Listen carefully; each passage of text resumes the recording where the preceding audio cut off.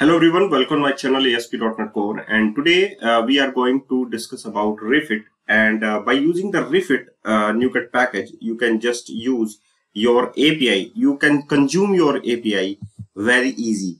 Very easy steps you can do. Okay, so uh, here we have a Refit uh, package uh, just I'm going to install that is the latest version 6.3.2 and that is the name is Refit. Okay so uh, just after that, uh, just after install of your package, just you can use your uh, API, uh, just configure your API in program.cs file. So here we have a uh, ASP.NET Core 6.0 and a higher version. So uh, to use Refit, to configure that HTTP client here by using that line of code. So here we have a builder.services.add HTTP client ITodo API that's I'm going to discuss uh, just after a few seconds. So here we have a API that is interface and here we have a client client.base address that is the JSON placeholder dot uh, typicode.com that is a free web API and here we have dot add typed client and uh, typed client you can say that the client and here we have a REST service that is the refit dot for ITodo API in, in just past that is the client. So here we have a HTTP client you can say. So what going inside in the ITodo API, just go to the definition and you can see that there is another, uh, there is nothing uh, to do in the implementation.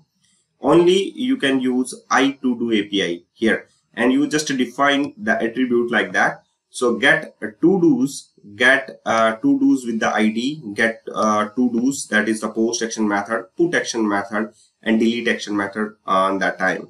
Okay so here we have that is the ITodo api and the configuration is here like that. Now you can use or you can say that ITodo api is, is uh, actually um, as a dependency injection you have to inject it. And in the controller part uh, just here you can say so what inside in the to do's uh, so just go for the model part and just go for the to do's model. So here we have a to do model and here we have a user id id and title is completed. Okay. And the next one is the controller section. That is much easy. So uh, to do controller.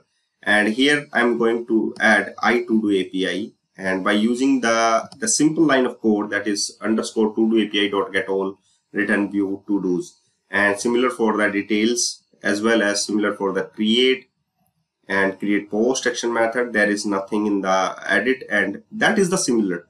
So uh, by using the refit uh, you can just use attribute and there is a no implementation to call header information. There is a no call to information client http factory and there is nothing.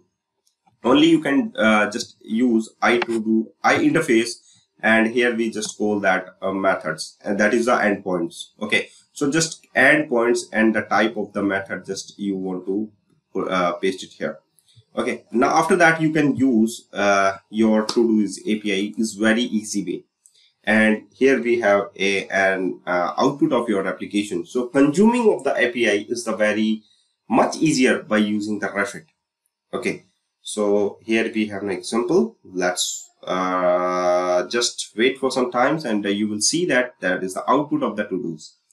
So uh, here we go. And uh, wait for wait wait wait waiting. And oops there is nothing but it will take time I think. Okay it's initialized. And okay now just go to the navigate section and here we have to do to do and the index action method. And here you can see that the whole uh, to do's is there. That is the free API okay uh, so thank you guys for watching this video and keep watching all of the videos which is related to ASP.NET